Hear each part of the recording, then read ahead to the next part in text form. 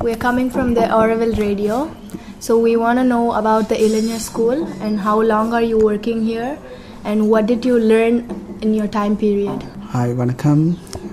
I'm Anand. I have been working in Ilaignarkal School since 13 years. I have got so many experience here. Here many workers and workers' children and many teachers are coming here and learning their, improving their soft skills language skills and they're improving their talent and leadership talent this whole thing they are improving here. So in time being uh, so my qualification is ME economics mm-hmm. yoga I'm a master in yoga. I'm a theater person and uh, language teacher. And here I'm teaching a Tamil language so to improve their so people's nowadays people forgetting our, our own land Tamil cultures.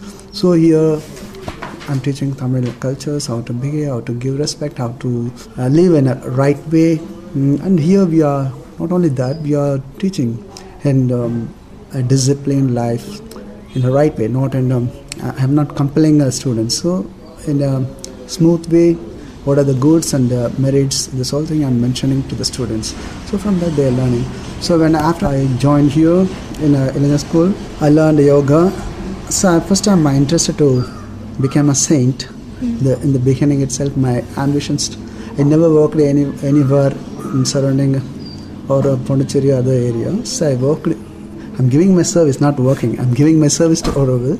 So my ambitions uh, before I come to start my servicing here, I want to become a saint. So that's uh, I tried tried here, but uh, some controversies between me here so I don't want to do that. But I myself, I'm, I'm uh, existing and progressing inner, inner myself. So whoever come to our Telugu school, I giving a good knowledge. Anything else? So you're a Tamil teacher. No, I'm a language teacher. Anything okay, I, I, can teach uh, many things. Not only uh, language, uh, yoga, English language, Tamil culture mainly. Tamil also I'm teaching. So tell us about Ilaignarkal School. So Ilaignarkal School, it's a 39th year. It is, it is a very senior school in our Auroville. So many people studied here and they now became an executives of Auroville. Whoever studies, so here um, uh, from my experience since, since the 13 years, uh, nearly 2,000 uh, 300 students studied here. Most of them, when I see them, if I started to come in the morning time at 8 o'clock or 9 o'clock, so many students crossing, they are wishing me, they are wishing, I, sir, vanakkam, sir, vanakkam, sir. Whoever says vanakkam, vanakkam, they are our school because they learned the word vanakkam.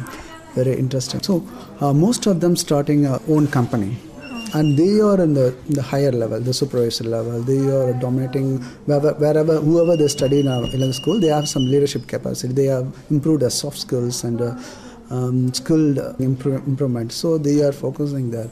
Now this uh, Sambat is our student. He is he is studying here. Now in, he has got a promotion in PIMS Hospital.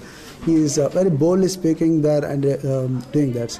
And so Jaimala, who is working in Matrigold, now she's improving her English language. In the beginning, she came here.